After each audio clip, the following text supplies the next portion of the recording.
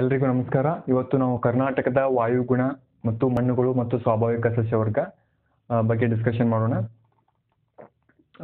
ನಮ್ಮ ಚಾನಲ್ಗೆ ನೀವೇನು ಸಬ್ಸ್ಕ್ರೈಬ್ ಆಗಿರ್ತೀವಿ ಸಬ್ಸ್ಕ್ರೈಬ್ ಮಾಡಿ ಮತ್ತು ಬೆಲ್ ಬಟನ್ ಮೇಲೆ ಕ್ಲಿಕ್ ಮಾಡಿ. ಅಂದರೆ ನಮ್ಮ ಯಾವುದಾದ್ರೂ ವಿಡಿಯೋ ಬಿಟ್ಟಿದ್ರೆ ನಿಮ್ಗೆ ಬಂದು ಬೇಗನೆ ನೋಡೋಕ್ಕೆ ನಿಮಗೆ ಅನುಕೂಲ ಆಗುತ್ತೆ. ಮೊದಲನೇದಾಗಿ ಹೇಳೋದಾದ್ರೆ ಕರ್ನಾಟಕದ ವಾಯುಗುಣದ ಬಗ್ಗೆ, ಕರ್ನಾಟಕದಲ್ಲಿ ಉಷ್ಣವಲಯದ ಮಾನ್ಸೂನ್ ವಾಯುಗುಣ ಇದೆ. ಉಷ್ಣವಲಯ ಅಂದ್ರೆ ಕರ್ನಾಟಕದಲ್ಲಿ ಉಷ್ಣವಲಯ ಅಂದ್ರೆ ಈ ಈ ರೀತಿಯಾಗಿ ಭೂಮಿ ಇರ್ತಕ್ಕಂಥದ್ದು, ಇಲ್ಲಿ ನಡುವೆ ಇರ್ತಕ್ಕಂಥದ್ದು, ಭೂಮಿ ನಡುವೆ ಸಂಭಾಜಿಕ ವೃತ್ತ ಅಂತ ಕರಿತೀವಿ ನಾವು.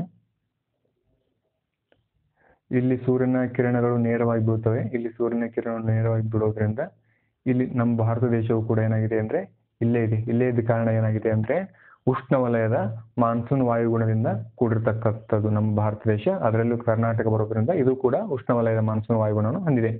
ಅತಿ ಶಾಖ ಮತ್ತು ತೇವಾಂಶವುಳ್ಳ ಬೇಸಿಗೆ ಹಾಗೂ ತಂಪಾದ ಮತ್ತು ಶುಷ್ಕ ಚಳಿಗಾಲವನ್ನು ಹೊಂದಿರತಕ್ಕಂಥದ್ದು. ಭೌಗೋಳಿಕ ಸ್ಥಾನ, ಸಮುದ್ರದ ಸಮುದ್ರದ ಸಾಮೀಪ್ಯ, ಭೂ ಸ್ವರೂಪ, ಸಸ್ಯವರ್ಗ ಹಾಗೂ ಮಾನ್ಸೂನ್ ಮಾರುತಗಳ ಪ್ರಭಾವವು ಮುಖ್ಯ ಕಾರಣವಾಗಿದೆ ಇದಕ್ಕೆ. ಹೀಗಾಗಿ ವಾರ್ಷಿಕ ಉಷ್ಣಾಂಶ ಮತ್ತು ಮಳೆ ಹಂಚಿಕೆ ರಾಜ್ಯದಂತೆ ಒಂದೇ ರೀತಿ ಆಗುವುದಿಲ್ಲ ವಾಯುಗುಣದ ಋತುಗಳು. ವಾಯುಗುಣದ ಋತುಗಳ ಬಗ್ಗೆ ಹೇಳೋದಾದ್ರೆ ನಾಲ್ಕು ಋತುಗಳನ್ನಾಗಿ ಟೋಟಲ್ ಆಗಿ ವಿಂಗಡಣೆ ಮಾಡಿದ್ದೀವಿ ನಾವು. ಫಸ್ಟ್ ಒನ್ ಇದೆ ಬೇಸಿಗೆ ಕಾಲ. ಬೇಸಿಗೆ ಕಾಲ. ಎಲ್ಲಿವರೆಗೆ ಅಂದ್ರೆ ಮಾರ್ಚ್ನಿಂದ ಮೇವರೆಗೆ, ಎಲ್ಲಿವರೆಗೆ? ಮಾರ್ಚ್ನಿಂದ ಮೇವರೆಗೆ. ಮಳೆಗಾಲ ಯಾವಾಗ ಯಾವಾಗ ಅಂದ್ರೆ ಜೂನ್ನಿಂದ ಸೆಪ್ಟೆಂಬರ್ವರೆಗೆ.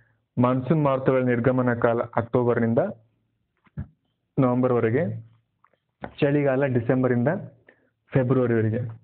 ಬೇಸಿಗೆ ಕಾಲದಲ್ಲಿ ಏನಾಗುತ್ತೆ ಅಂದ್ರೆ ನಮ್ಮ ಭಾರತ ದೇಶದಲ್ಲಿ ಬೇಸಿಗೆ ಯಾವ ಯಾವ ಬ- ಯಾವಾಗ ಬರುತ್ತೆ ಅಂದ್ರೆ ಮಾರ್ಚ್ ಇಟ್ಕೊಂಡು ಮೇವರೆಗೆ ಏನಾಗುತ್ತೆ? ಬೇಸಿಗೆ ಕಾಲ ಬರ್ತಕ್ಕಂಥದ್ದು ಬೇಸಿಗೆ ಕಾಲದಲ್ಲಿ ವಾಯುಗುಣವು ಅತಿ ಶಾಖ ಮತ್ತು ಶುಷ್ಕ ಮತ್ತು ಸೆಕೆಯಿಂದ ಕೂಡಿರುತ್ತದೆ ಅಂದ್ರೆ ಅತಿ ಹೆಚ್ಚು ಉಷ್ಣಾಂಶ ಇರತಕ್ಕಂಥದ್ದು ಅವಾಗ.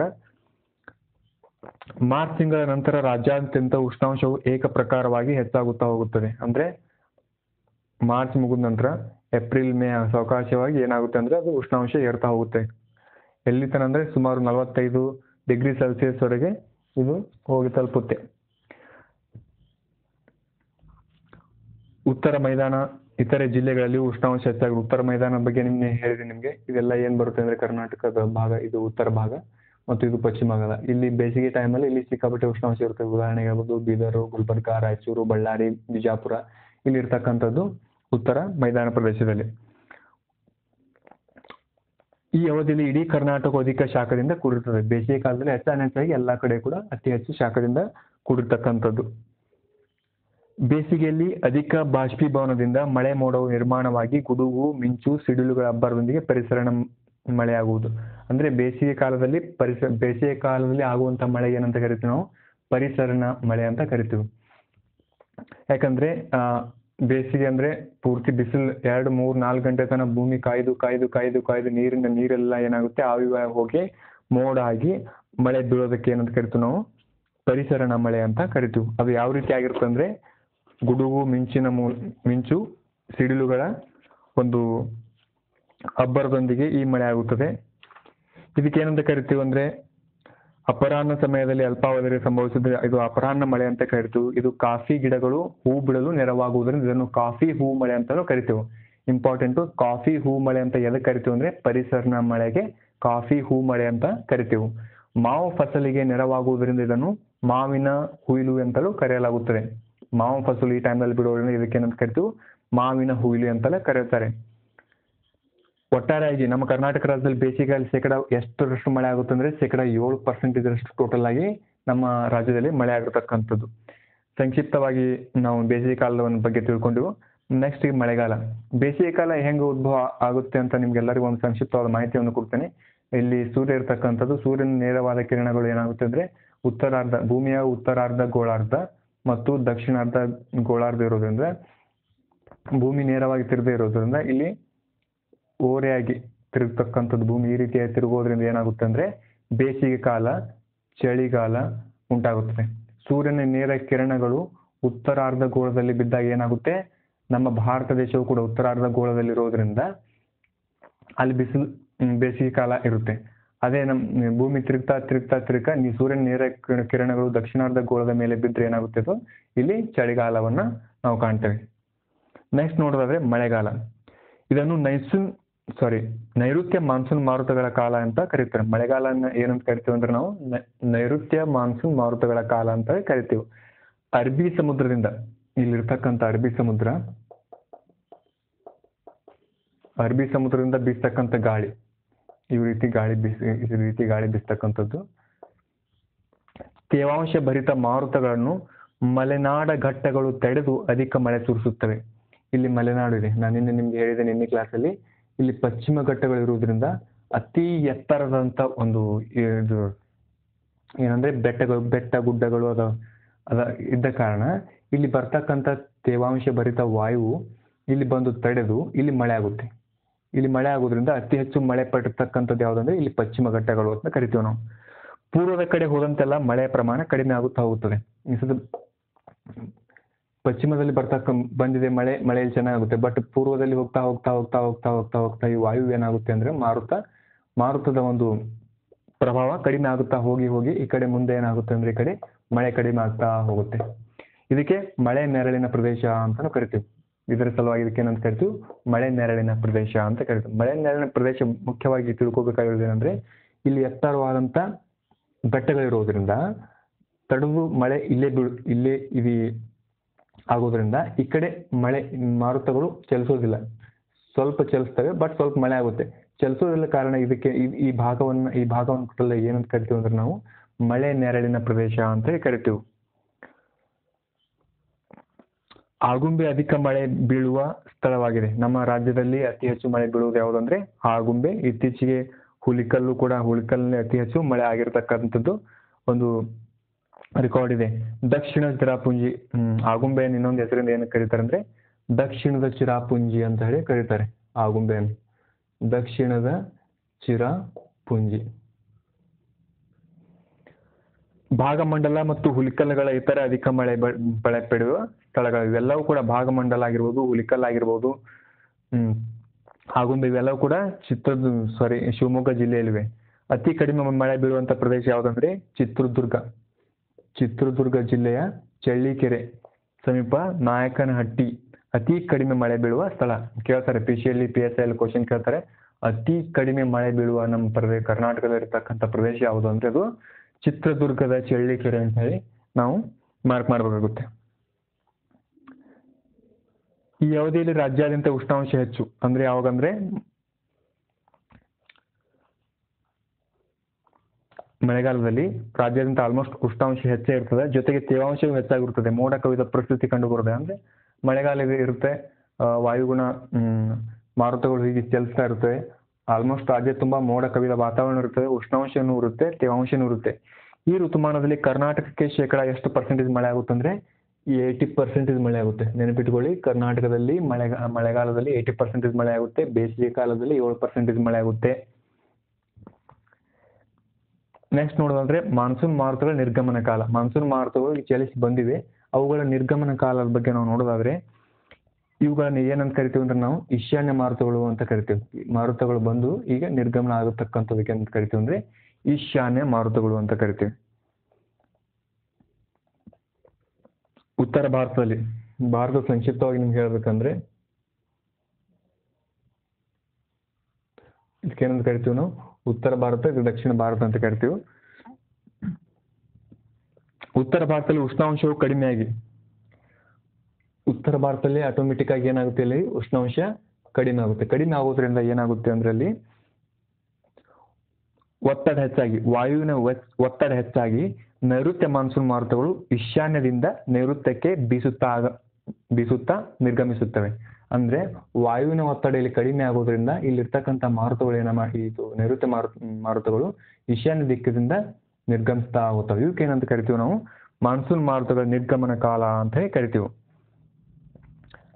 ಭೂಭಾಗದಿಂದ ಬೀಸುವ ಈ ಮಾರುತಗಳು ಮಳೆ ತರುವುದಿಲ್ಲ. ಈ ಮಾರುತಗಳು ಆಲ್ಮೋಸ್ಟ್ ಅಲ್ಲಿ ಮಳೆ ತರುವುದಿಲ್ಲ. ಹಂಗೆ ಸುಮ್ಮನೆ ಬೀಸ್ಕೊಂಡು ಹೋಗ್ತಾವೆ ಆದರೆ ಬಂಗಾಳ ಕೊಲ್ಲಿಯಿಂದ ಬೀಸುವಾಗ ಬಂಗಾಳ ಕೊಲ್ಲಿ ಈ ಕಡೆಯಿಂದ ಏನು ಬೀಸ್ತಾವಲ್ಲ, ಈ ಕಡೆಯಿಂದ ಏನು ಬೀಸ್, ಬೀಸ್ತಿರ್ತಾವಲ್ಲ ಅವು? ಸಾರಿ ಈ ಕಡೆಯಿಂದ ಅಲ್ಲ, ಈ ಕಡೆಯಿಂದ, ಮಾರುತಗಳು ಈ ಕಡೆಯಿಂದ ಬರ್ತಿರ್ತಾವ. ಈಶಾನ್ಯ ಮಾರುತಗಳು.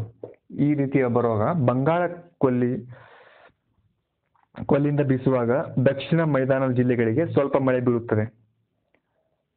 ಇಲ್ಲಿ, ಇಲ್ಲಿರ್ತಕ್ಕಂಥ ಮಳೆಗಾಲ ಮಳೆ ಆಗುತ್ತೆ. ಯಾವುದಂದ್ರೆ ತಮಿಳುನಾಡು.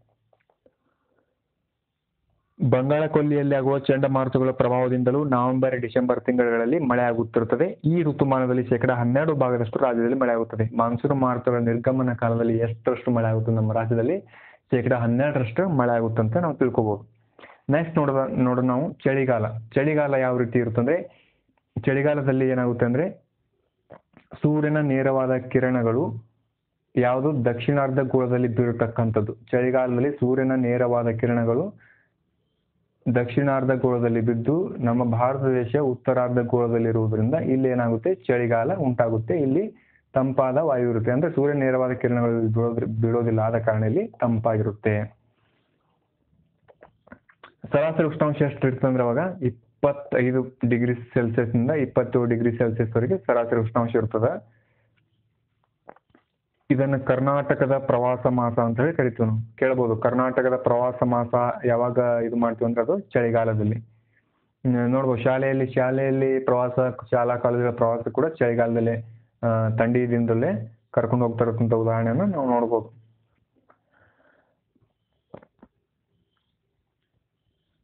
ಬೆಳಗಾವಿಯಲ್ಲಿ ಕನಿಷ್ಠ ಉಷ್ಣಾಂಶ ಆರು ಪಾಯಿಂಟ್ ಏಳು ಡಿಗ್ರಿ ಸೆಲ್ಸಿಯಸ್ ಇರುತ್ತದೆ. ಉತ್ತರ ಜಿಲ್ಲೆಗಳಲ್ಲಿ ಕಡಿಮೆ ಉಷ್ಣಾಂಶ ಇರುತ್ತದೆ. ಉದಾಹರಣೆಗೆ ಹೇಳ್ಬೋದು ಅಂದ್ರೆ ವಿಜಯಪುರ ಆಗಿರ್ಬೋದು, ಕಲಬುರಗಿ ಆಗಿರ್ಬೋದು, ಬೀದರ್ಗಳಲ್ಲಿ ಎಲ್ಲ ಕಡೆ ಏನಾಗುತ್ತೆ? ಉಷ್ಣಾಂಶ ಅತಿ ಕಡಿಮೆ ಇರುತ್ತದೆ. ಬೀದರ್ನಲ್ಲಿ ಅತಿ ಹೆಚ್ಚು. ಬೆಳಗಾವಿ, ಬೀದರು ಮತ್ತು ಬಿಜಾಪುರದಲ್ಲಿ. ಮಳೆ ಹಂಚಿಕೆ ಬಗ್ಗೆ ನೋಡೋಣ. ಮಲೆನಾಡು ಮತ್ತು ಕರಾವಳಿ ವಿಭಾಗಗಳ ಅಧಿಕ ಮಳೆ ಪಡೆಯುವ ಪ್ರದೇಶವಾಗಿದೆ ಮಲೆನಾಡು ಅಂದ್ರೆ ಗೊತ್ತಿದೆ ನಿಮ್ಗೆ. ಪಶ್ಚಿಮ ಘಟ್ಟಗಳು ಮತ್ತು ಕರಾವಳಿ ಪ್ರದೇಶ ಅತಿ ಹೆಚ್ಚು ಮಳೆ ಪಡೆಯುವಂತ ಪ್ರದೇಶ. ಅಕಾಲಿಕ ಮತ್ತು ಅಸಮಾನ ಮಳೆ ಹಂಚಿಕೆಯಿಂದ ರಾಜ್ಯದಲ್ಲಿ ಆಗಾಗ್ಗೆ ಬರಗಾಲ ಮತ್ತು ಪ್ರವಾಹಗಳು ಉಂಟಾಗುತ್ತೆ. ಒಂದೊಂದ್ಸಲ ಮಳೆ ಆಗುತ್ತೆ, ಒಂದೊಂದ್ಸಲ ಮಳೆ ಆಗೋದಿಲ್ಲ. ಅದಕ್ಕೋಸ್ಕರ ಏನು ಕರೆದರೆ ಭಾರತ ದೇಶದ ಮಳೆ ಜೊತೆಯಲ್ಲಿ ಆಡುವ ಜೂಜಾಟ ಅಂತೇಳಿ ಕರೆದಿದ್ದಾರೆ. ಯಾಕಂದ್ರೆ ಮಳೆಯ ಅಭಾವನು ಜಾಸ್ತಿ ಇರುತ್ತೆ. ಒಂದ್ಸಲ ಮಳೆ ಬಂದ್ರೆ ಸಿಕ್ಕಾಪಟ್ಟೆ ಬರುತ್ತೆ. ಬೆಳೆ, ಗೆಳೆ ಎಲ್ಲ ನಾಶ ಆಗಿ ಹೋಗ್ತಕ್ಕಂಥ ಪರಿಸ್ಥಿತಿನೂ ನಮ್ಮ ದೇಶದಲ್ಲಿ ಇರ್ತಕ್ಕಂಥದ್ದು ಇನ್ನು ನಾವು ಮುಂದೆ ನೋಡೋದಾದ್ರೆ ಮಣ್ಣುಗಳು. ನಮ್ಮ ಕರ್ನಾಟಕ ರಾಜ್ಯದಲ್ಲಿ ಮಣ್ಣುಗಳು ಯಾವ್ಯಾವ ರೀತಿ ಇದೆ ಅಂದ್ರೆ ಕೆಂಪು ಮಣ್ಣು, ಕಪ್ಪು ಮಣ್ಣು ಮತ್ತು ಜಂಬಿಟ್ಟಿಗೆ ಮಣ್ಣು, ಕರಾವಳಿ ಮೆಕ್ಕಲು ಮಣ್ಣು ಅಂತ ಹೇಳಿ ನಾಲ್ಕು ಭಾಗಗಳನ್ನಾಗಿ ವಿಂಗಡಿಸಿದ್ದೇವೆ ನಾವು. ಇಲ್ಲಿ ನಿಮ್ಗೆ ಸ್ಪಷ್ಟವಾಗಿ ತೋರಿಸಿದ್ವಿ ನೋಡಿ, ಇದೇನು ಗ್ಯಾಪ್ ಇದೆಯಲ್ಲ? ಸರಿ, ಒಂದು ನಿಮಿಷ. ಕ್ಲೀನ್ ಮಾಡಿ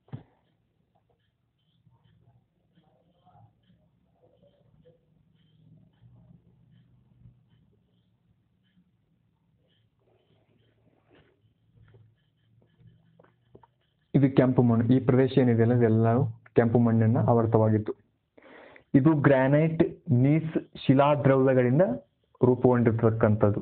ಕೆಂಪು ಮಣ್ಣು ಯಾವ ಶಿಲೆಗಳಿಂದ ನಿರ್ಮಾಣವಾಗಿದೆ ಅಂತ ಹೇಳಿ ನಾಳೆ ಕ್ವಶನ್ ಅಲ್ಲಿ ಬರುತ್ತೆ. ಯಾವುದಾದ್ರೂ ಕೆ ಎಸ್ ಕ್ವಶನ್ ಅಲ್ಲಿ ಬರ್ಬೋದು ಇದು. ಕೆ ಎಸ್ ಪ್ರಶ್ನೆ ಪತ್ರಿಕೆಯಲ್ಲೂ ಕೂಡ ಬರ್ಬೋದು. ಕೆಂಪು ಮಣ್ಣು ಯಾವ ಶಿಲಾ, ಶಿಲೆಗಳಿಂದ ಮಾಡಲ್ಪಟ್ಟಿದೆ ಅಂದ್ರೆ ಅದು ಗ್ರಾನೈಟ್ ಮತ್ತು ನೀಸ್ ಅಂತ ಹೇಳಿ ಉತ್ತರಕ್ಕೆ ಟಿಕ್ ಮಾಡಬೇಕು. ಇದು ಕಬ್ಬಿಣದ ಕಬ್ಬಿಣದ ಆಕ್ಸೈಡ್ ಇರುವುದರಿಂದ ಈ ಮಣ್ಣು ಕೆಂಪಾಗಿರುತ್ತದೆ. ಈ ಮಣ್ಣು ಕೆಂಪಾಗಿರಲು ಕಾರಣ ಏನಂದ್ರೆ ಕಬ್ಬಿಣ ಆಕ್ಸೈಡ್ ಕಬ್ಬಿಣದ ಆಕ್ಸೈಡ್ ಇರೋದ್ರಿಂದ ಈ ಮಣ್ಣು ಕೆಂಪಾಗಿರುತ್ತದೆ. ಈ ಮಣ್ಣಿನಲ್ಲಿ ಹೆಚ್ಚು ಸುಣ್ಣ ಮತ್ತು ಉಪ್ಪಿನ ಅಂಶವಿದ್ದು ಸಾವಯವ ಅಂಶ ಕಡಿಮೆ.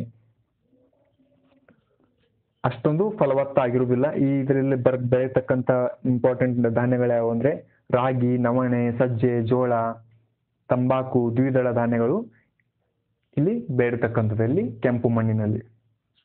ಇದೆಲ್ಲೆಲ್ಲಿ ಕಂಡು ಬರ್ತದೆ ಅಂದ್ರೆ ತುಮಕೂರು, ಬೆಂಗಳೂರು, ರಾಮನಗರ, ಚಿಕ್ಕಬಳ್ಳಾಪುರ, ಕೋಲಾರ, ಚಾಮರಾಜನಗರ, ಮೈಸೂರು. ಅಂದ್ರೆ ಈ ಭಾಗಗಳು ಟೋಟಲ್ ಆಗಿ ಭಾಗಗಳು ಮೈಸೂರು, ಚಾಮರಾಜನಗರ, ತುಮಕೂರು ಈ ಪ್ರದೇಶದಲ್ಲಿ ಇರತಕ್ಕಂಥದ್ದು ಇವುಗಳಲ್ಲಿ ಕೆಂಪು ಮಣ್ಣು ಅತಿ ಹೆಚ್ಚಾಗಿ ಕಂಡು ಬರುತ್ತದೆ. ನೀನು ನೋಡೋದಾದ್ರೆ ಕಪ್ಪು ಮಣ್ಣು. ಕಪ್ಪು ಮಣ್ಣು ಇಂಪಾರ್ಟೆಂಟ್ ಆಗಿ ಕಪ್ಪು ಮಣ್ಣು ಯಾವ ಶಿಲೆಯ ಶಿಥಿಲೀಕರಣದಿಂದ ಮಾಡಲ್ಪಟ್ಟಿರುತ್ತದೆ ಅಂದ್ರೆ ಅದು ಬಾಸಾಲ್ಟ್ ಅಂತ ಬರಿಬೋದು ನಾವು, ಬಾಸಾಲ್ಟ್. ಒಂದು ನಿಮಿಷ ಕ್ಲೀನ್ ಮಾಡ್ತೀನಿ.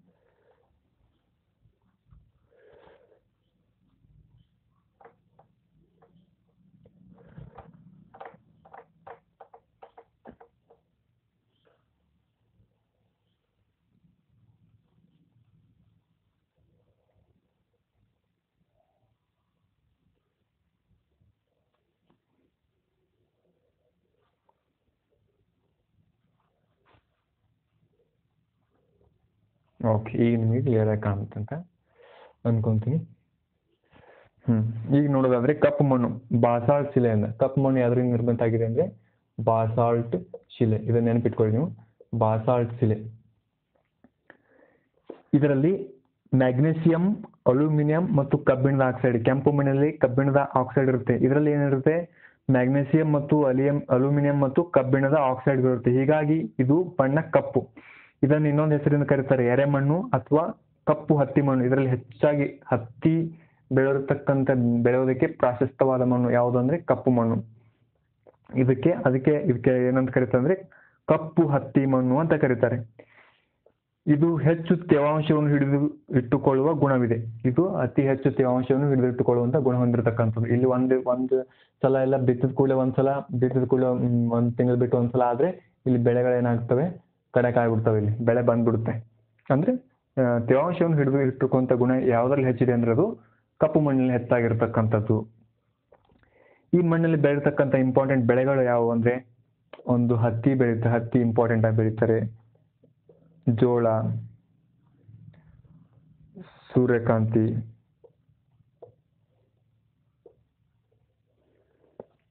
ಮೆಣಸಿನಕಾಯಿ, ಮೆಕ್ಕೆಜೋಳ, ಬೇಳೆಕಾಳು, ಕಬ್ಬು, ಈರುಳ್ಳಿ, ಭತ್ತ ಇತ್ಯಾದಿ.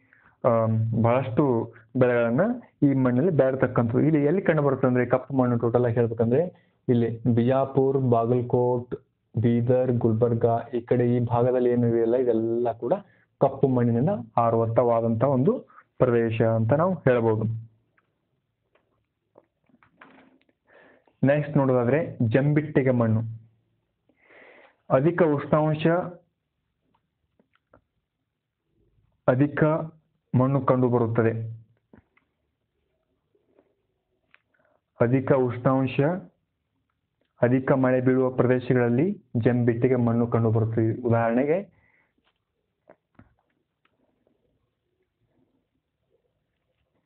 ಕಾಫಿ, ಉದಾಹರಣೆಗೆ ಚಿಕ್ಕಮಗಳೂರು.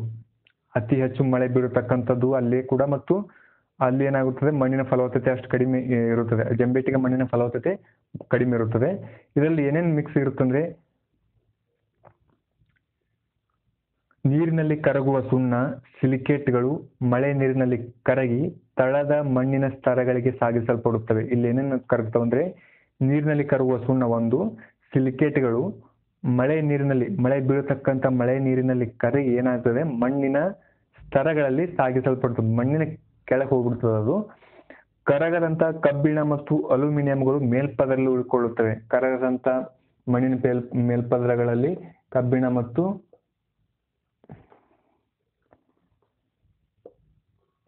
ಮತ್ತು ಅಲ್ಯೂಮಿನಿಯಂ. ಇವು ಮೇಲ್ಪದರದಲ್ಲಿ ಮಣ್ಣಿನ ಮೇಲ್ ಮೇಲ್ಪದರಗಳಲ್ಲಿ ಉಳ್ಕೊಂಡ್ಬಿಡ್ತಾವ.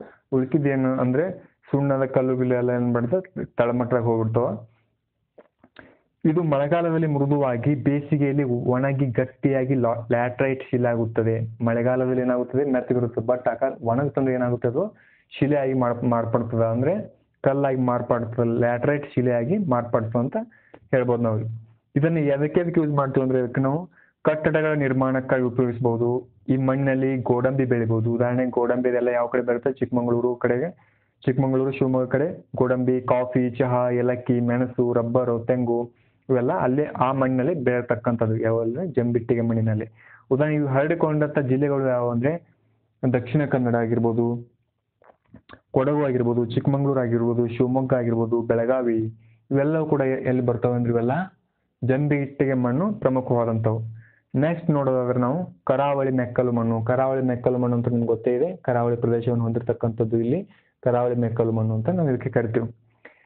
ನದಿ ಮತ್ತು ಸಮುದ್ರದ ಅಲೆಗಳಿಂದ ಸಾಗಿಸಲ್ಪಟ್ಟ ಮಣ್ಣು ಸಮುದ್ರ ತೀರದಲ್ಲಿ ಸಂಗ್ರಹವಾಗಿ ನಿರ್ಮಾಣವಾಗಿದೆ.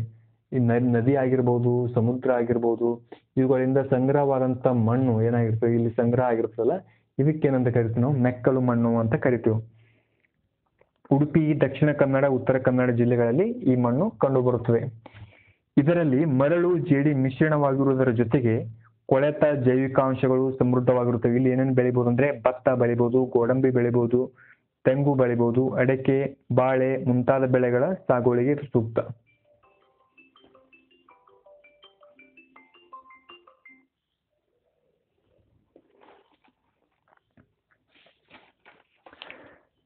ನೆಕ್ಸ್ಟ್ ಈ ಮಣ್ಣುಗಳ ಬಗ್ಗೆ ನೋಡಿದ್ವಿ ಎಲ್ಲ ನಾಲ್ಕು ವಿಭಾಗದ ಮಣ್ಣುಗಳು. ಈಗ ಸ್ವಾಭಾವಿಕ ಸಸ್ಯವರ್ಗದ ಬಗ್ಗೆ ಡಿಸ್ಕಷನ್ ಮಾಡೋಣ.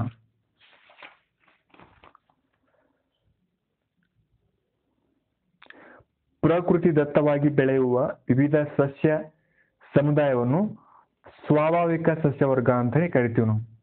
ಪ್ರಕೃತಿ ದತ್ತವಾಗಿ ಅಂದ್ರೆ ನೈಸರ್ಗಿಕವಾಗಿ ಬೆಳೆಸ್ತಕ್ಕಂಥದ್ದು ಏನಂತ ಕರಿತೀವಿ ನಾವು? ಸ್ವಾಭಾವಿಕ ಸಸ್ಯವರ್ಗ ಅಂತ ಕರಿತೀವಿ. ಏನ್ ಮಾನವರು ಹಚ್ಚಿರಂಗಿಲ್ಲ ತನ್ನಿಂದ ತಾನೇ ಬೆಳೆಸಿರ್ ಏನಂತ ನಾವು? ಸ್ವಾಭಾವಿಕ ಸಸ್ಯವರ್ಗ ಅಂತ ಕರಿತೀವಿ. ಕರ್ನಾಟಕವು ವೈವಿಧ್ಯಮಯವಾದ ಸಮೃದ್ಧ ಸಸ್ಯ ಸಂಪನ್ಮೂಲಗಳನ್ನು ಹೊಂದಿದೆ. ಪರಿಸರ ಸಮತೋಲನ ಕಾಪಾಡುವುದರಲ್ಲಿ ಸಸ್ಯವರ್ಗವು ಪ್ರಮುಖ ಪಾತ್ರ ವಹಿಸುತ್ತದೆ. ಸಸ್ಯವರ್ಗವು ಮರಮುಟ್ಟು ಕೈಗಾರಿಕೆಗಳಿಗೆ ಕಚ್ಚಾ ವಸ್ತು ಉರುವಲು, ಗಿಡಮೂಲಿಕೆಗಳು, ಜೇನು, ಬಿದಿರು, ಬೆತ್ತ ಮುಂತಾದವುಗಳನ್ನು ಒದಗಿಸುತ್ತದೆ. ಇವೆಲ್ಲವೂ ಕೂಡ ಇಲ್ಲಿ ಸ್ವಾಭಾವಿಕ ಸಸ್ಯವರ್ಗದಲ್ಲಿ ಕಂಡು ಬರತಕ್ಕಂಥ ಸ್ವಾಭಾವಿಕ ಸಸ್ಯವರ್ಗದಲ್ಲಿ ವಿಧ ವಿಧಗಳು ಯಾವುವು ಅಂದ್ರೆ ನಿತ್ಯ ಹರಿಗೆ ಧೋರಣೆ ಕಾಡುಗಳು ಬರುತ್ತವೆ, ಎಲೆ ಉದುರುವ ಕಾಡುಗಳು ಬರ್ತವೆ ಮಿಶ್ರ ಮಿಶ್ರ ಕಾಡುಗಳು ಬರ್ತವೆ ಕುರುಚಲು ಮತ್ತು ಹುಲ್ಲುಗಾವಲು ಕಾಡುಗಳು ಬರ್ತವೆ ಇಲ್ಲಿ ನಾವು ಮಣ್ಣುಗಳ ಹಂಚಿಕೆ ಬಗ್ಗೆ ಈ ಮ್ಯಾಪಲ್ಲಿ ನೋಡಿದೆವು, ಕರ್ನಾಟಕದ ಮ್ಯಾಪಲ್ಲಿ ಇಲ್ಲಿ ಸಸ್ಯವರ್ಗಗಳ ಹಂಚಿಕೆಯಲ್ಲಿ ನೋಡಿದ್ವಿ, ಇಲ್ಲಿ ಮ್ಯಾಪಲ್ಲಿ ಹಾಕಿದ್ರೆ ನೀವು ಇಲ್ಲಿ ಈ ತರ ಯಾವುದು ಇದೆ ಅಂದ್ರೆ ನಿತ್ಯ ಹರಿದ್ವರ್ಣ ಕಾಡುಗಳು, ಎಲ್ಲಿ ಬರ್ತವೆ ಇಲ್ಲಿ ಇಲ್ಲಿ ನಾವು ಮಾರ್ಕ್ ಮಾಡಿದ್ವಿ ನಿತ್ಯ ಹರಿದ್ವರ್ಣ ಕಾಡುಗಳು. ಮಿಶ್ರ ಬಗೆಯ ಕಾಡುಗಳು ಎಲ್ಲಿ ಬರುತ್ತವೆ ಅಂದ್ರೆ ಇಲ್ಲಿ ಮಿಶ್ರ ಬಗೆಯ ಕಾಡುಗಳು, ಇಲ್ಲಿ ಮತ್ತು ಇಲ್ಲಿ. ಎಲೆ ಉದುರುವ ಇದ್ರ, ಉದುರುವ ಕಾಡುಗಳು ಎಲ್ಲಿ ಬರ್ತಂದ್ರೆ ಇಲ್ಲಿ ಕರಾವಳಿ ಪ್ರದೇಶ ಮತ್ತು ಪಶ್ಚಿಮ ಘಟ್ಟಗಳ ಆದ ನಂತರ ಎಲ್ಲಿ ಬರ್ತಂದ್ರೆ ಅಂದ್ರೆ ಇಲ್ಲಿ ಎಲೆ ಉದುರುವ ಕಾಡುಗಳು. ಇಲ್ಲಿ ಕುರುಚಲು ಸಸ್ಯವರ್ಗ ಎಲ್ಲ ಇದೇನು? ಕುರುಚಲು ಸಸ್ಯವರ್ಗ ಅಲ್ಲಿ ಅಷ್ಟು ದೊಡ್ಡ ಸಸ್ಯಗಳು ಇಲ್ಲಿ ಬಹಳಷ್ಟು ಇರೋದಿಲ್ಲ ಅಷ್ಟೇ ಸಣ್ಣ ಸಣ್ಣ ಸಸ್ಯಗಳು ಇರ್ತವೆ. ಅಲ್ಲಿ ಅಲ್ಲಿ ಅಲ್ಲಿ ಅಲ್ಲಿ ಅಲ್ಲಿ ಇರ್ತವೆ. ಅದಕ್ಕೇನಂತ ಕರಿತೀವಿ? ಕುರುಚಲು ಸಸ್ಯವರ್ಗ ಅಂತ ಕರಿತೀವಿ. ನಿತ್ಯ ಹೆಸರಣ ಕಾಡುಗಳಿಗೆ ಟೋಟಲ್ ಎಷ್ಟು ಸೆಂಟಿಮೀಟರ್ ಮಳೆ ಬೇಕಂದ್ರೆ ಎರಡ್ನೂರ ಐವತ್ತು ಸೆಂಟಿಮೀಟರ್ಗಳಿಗಿಂತ ಅಧಿಕ ವಾರ್ಷಿಕ ಮಳೆ ಬೀಳುವ ಪ್ರದೇಶಗಳಲ್ಲಿ ಇವು ಸಹ ನಿತ್ಯ ಹೆಸರಣ ಕಾಡುಗಳು ಇರ್ತವೆ ಅಧಿಕ ಮಳೆ ಮತ್ತು ಅಧಿಕ ಉಷ್ಣಾಂಶಗಳಿಂದ ಇಲ್ಲಿ ಮರಗಳು ಎತ್ತರವಾಗಿ ದಟ್ಟವಾಗಿ ಬೆಳೆತಕ್ಕಂಥದ್ದು ಇಲ್ಲಿ ಇಂಪಾರ್ಟೆಂಟ್ ಆಗಿರ್ತಕ್ಕಂಥ ಮರಗಳು ಯಾವ ಅಂದ್ರೆ ಬೀಟೆ, ತೇಗ, ಮತ್ತಿ, ನಂದಿ, ಧೂಪ, ಹೊನ್ನೆ ಮುಂತಾದವುಗಳು. ನೆಕ್ಸ್ಟ್ ಎಲೆ ಉದುರುವ ಸಸ್ಯಗಳಲ್ಲಿ ಕಂಡು ಬರುತ್ತೆ ಬಗ್ಗೆ ನೋಡೋದಾದ್ರೆ ಚಳಿಗಾಲದ ತರುವಾಯ ತೇವಾಂಶದಿಂದ ಕೊರತೆಯಿಂದ ಮರಗಳ ಎಲೆಗಳು ಉದುರುತ್ತವೆ. ತೇವಾಂಶದ ಕೊರತೆಯಿಂದ ಮಳೆಗಳ, ಮಳೆ ಸಾರಿ ಮರಗಳ ಎಲೆ ಉದುರುತ್ತವೆ, ಮತ್ತೆ ವಸಂತ ಋತುವಿನಲ್ಲಿ ಚಿಗುರುತ್ತವೆ. ಇವುಗಳನ್ನು ಎಲೆ ಉದುರುವ ಸಸ್ಯವರ್ಗ ಅಂತ ಕರಿತೀವಿ. ಇದು ಎಷ್ಟಂದ್ರೆ ಅರವತ್ತರಿಂದ ನೂರ ಇಪ್ಪತ್ತು ಸೆಂಟಿಮೀಟರ್ ಮಳೆ ಬೀಳುವಂತಹ ಭಾಗಗಳಲ್ಲಿ ಇಂತಹ ಸಸ್ಯವರ್ಗ ಕಂಡು ಬರ್ತವೆ ಉದಾಹರಣೆಗೆ ಹೇಳ್ಬೇಕಂದ್ರೆ ಚಿಕ್ಕಮಗಳೂರು, ಮೈಸೂರು, ಚಾಮರಾಜನಗರ, ಹಾಸನ ಜಿಲ್ಲೆಗಳು ಈ ಭಾಗದಲ್ಲಿ. ನೆಕ್ಸ್ಟ್ ನಾವು ನೋಡೋದಾದ್ರೆ ಮಿಶ್ರ ಬಗೆಯ ಕಾಡೆಗಳು. ನಿತ್ಯ ಹರಿದ್ವರ್ಣ ಮತ್ತು ಅಗಲ ಎಲೆಗಳುಳ್ಳ ಎಲೆ ಉದುರುವ ಪ್ರಕಾರದ ಮರಗಳು ಬೆಳೆಯುವ ಸಸ್ಯವರ್ಗ ಮಿಶ್ರ ಸಸ್ಯ ಸಸ್ಯವರ್ಗ. ಅಂದ್ರೆ ನಿತ್ಯ ಹರಿದ್ವರ್ಣ ಎರಡು ರೀತಿ. ನಿತ್ಯ ಹರಿದ್ವರ್ಣನೂ ಇರ್ತವೆ ಇಲ್ಲಿ, ಮತ್ತು ಎಲೆ ಉದುರುವ ಅರಣ್ಯ ಕೂಡ ಎರಡು ಕೂಡ ಇದಕ್ಕೆ ಏನಂತ ಕರಿತೀವಿ ಮಿಶ್ರ ಅರಣ್ಯಗಳು ಅಂತ ಕರಿತೀವಿ ನಾವು. ಇವೆಲ್ಲಿ ಬರ್ತವೆ ಚಿಕ್ಕಮಗಳೂರು, ಹಾಸನ ಮತ್ತು ಮೈಸೂರು ಭಾಗದಲ್ಲಿ ಕಂಡು ಬರ್ತವೆ ಹುಲ್ಲುಗಾವಲು ಮತ್ತು ಕುರುಸಲು ಸಸ್ಯವರ್ಗ. ಇದು ಅರವತ್ತು ಸೆಂಟಿಮೀಟರ್ಗಿಂತ ಕಡಿಮೆ ಇರತಕ್ಕಂಥ ವಾರ್ಷಿಕ ಮಳೆ ಬೀಳುವ ಪ್ರದೇಶಗಳಲ್ಲಿ ಕಂಡು ಬರ್ತವೆ ಟೋಟಲ್ ಇಲ್ಲಿ, ಇಲ್ಲೆಲ್ಲ ಕುರುಚಲು ಸಸ್ಯವರ್ಗ ಕಂಡು ಬರ್ತಕ್ಕಂಥದ್ದು ಇಲ್ಲಿ ಬರ್ತಕ್ಕಂಥ ಮುಖ್ಯವಾದಂಥ ಒಂದು ಮರಗಳು ಯಾವ ಅಂದ್ರೆ ಆಲ, ಬೇವು, ಅರಳಿ ಕರಿಜಾಲಿ, ಹಂಚಿ ಇವೆಲ್ಲವುಗಳು ಕೂಡ. ಅರಣ್ಯ, ಅರಣ್ಯಗಳ ಹಂಚಿಕೆ ಬಗ್ಗೆ ನೋಡೋದಾದ್ರೆ ನಮ್ಮ ರಾಜ್ಯದಲ್ಲಿ ಅತಿ ಹೆಚ್ಚು ಅರಣ್ಯ ಹೊಂದಿ, ಹೊಂದಿರತಕ್ಕಂಥದ್ದು ಯಾವುದಂದ್ರೆ ಅದು ಕಾರವಾರ ಅಥವಾ ಉತ್ತರ ಕನ್ನಡ ಜಿಲ್ಲೆ ಅತಿ ಹೆಚ್ಚು ಅರಣ್ಯವನ್ನು ಹೊಂದಿರತಕ್ಕಂಥ ಪಶ್ಚಿಮ ಘಟ್ಟಗಳ ಮಧ್ಯಭಾಗದ ಕರ್ನಾಟಕದ ಮಲೆನಾಡು ಭಾಗವು ಮಾತ್ರ ತನ್ನ ನೈಸರ್ಗಿಕ ಜೈವಿಕ ಪಾರಂಪರೆಯನ್ನು ಉಳಿಸಿಕೊಂಡಿದೆ. ಅಂದ್ರೆ ಜೈವಿಕ ಪಾರಂಪರೆ ತಾಣವಾಗಿ ಕೂಡ ಏನು ಬರ್ತದೆ ಇಲ್ಲಿ ಕಂಡು ಬರ್ತದೆ. ಅದ್ಯಾವುದಂದ್ರೆ ಪಶ್ಚಿಮ ಘಟ್ಟಗಳು. ಪಶ್ಚಿಮ ಘಟ್ಟಗಳಲ್ಲಿ ಇಂಪಾರ್ಟೆಂಟ್ ಆಗಿ ಕರ್ನಾಟಕದಲ್ಲಿ ಒಟ್ಟು ಐದು ರಾಷ್ಟ್ರೀಯ ಉದ್ಯಾನವನಗಳು, ನಾಲ್ಕು ಪಕ್ಷಿಧಾಮಗಳು ಮತ್ತು ಹದಿನೇಳು ವನ್ಯಜೀವಿ ಧಾಮಗಳಾಗಿವೆ. ಉದಾಹರಣೆಗೆ ಹೇಳಬೇಕಾದ್ರೆ ಘಟಪ್ರಭಾ ಪಕ್ಷಿಧಾಮ ಎಲ್ಲಿದೆ? ಬೆಳಗಾವಿ ಜಿಲ್ಲೆಯಲ್ಲಿದೆ. ದಾಂಡೇಲಿ ಔನ್ಸಿ ಅಭಯಾರಣ್ಯಗಳೆಲ್ಲಿವೆ ಅಂದ್ರೆ ಅದು ಉತ್ತರ ಕನ್ನಡ ಜಿಲ್ಲೆಯಲ್ಲಿ ರಾಣೆಬೆನ್ನೂರು ಪಕ್ಷಿಧಾಮ ಎಲ್ಲಿದೆ ಹಾವೇರಿಯಲ್ಲಿದೆ, ಗುಡವಿ ಪಕ್ಷಿಧಾಮ ಶಿವಮೊಗ್ಗದಲ್ಲಿದೆ ಮಂಡಗದ್ದೆ ಪಕ್ಷಿಧಾಮ ಶಿವಮೊಗ್ಗದಲ್ಲಿದೆ, ನಾಗರಹೊಳೆ, ಕೊಡಗು ಈ ರೀತಿಯಾಗಿ ಇರತಕ್ಕಂಥವು. ಇವೆಲ್ಲವೂ ಕೂಡ ನೆನಪಿಟ್ಕೊಳ್ಬೇಕು.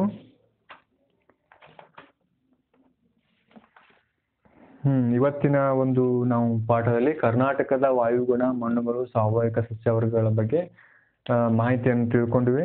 ಮತ್ತೆ ಮುಂದಿನ ವಿಡಿಯೋದಲ್ಲಿ ಮತ್ತೆ ಮುಂದಿನ ಒಂದು ಚಾಪ್ಟರ್ ನಾವು ಕವರ್ ಮಾಡೋಣ.